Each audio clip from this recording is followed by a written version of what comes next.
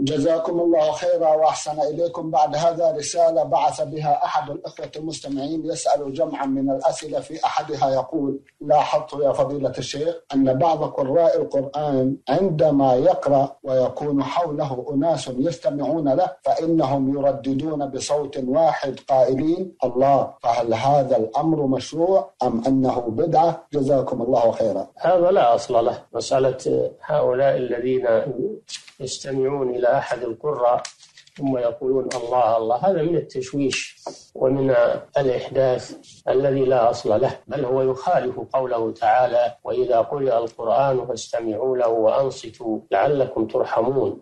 الواجب على المسلم الذي يستمع للقرآن أن يصغي إليه ويحضر قلبه وأن ينصت ولا يتلفظ بألفاظ تشوش على الحاضرين وعلى القارئ ولا يتحرك بحركات تشوش عليه وعلى غيره بل يقطع الحركة ويقطع الصوت ويستمع لكلام الله عز وجل فإنه أرجى أن ينتفع بالقرآن وأن تناله رحمة الله سبحانه وتعالى. نعم.